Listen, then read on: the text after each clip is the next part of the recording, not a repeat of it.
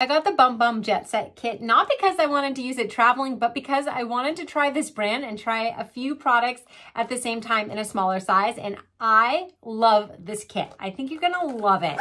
So it is perfect if you do want travel size, but also if you just wanna try out the brand, you're gonna get their top selling Brazilian Bum Bum Cream. You can see I've used a lot of mine. I love the smell of it. It's super hydrating and I've been using it like on my upper thighs and booty area just because that's where, you know, they say you should try it. So, but you can use it all over. It is an all over hydrating body cream.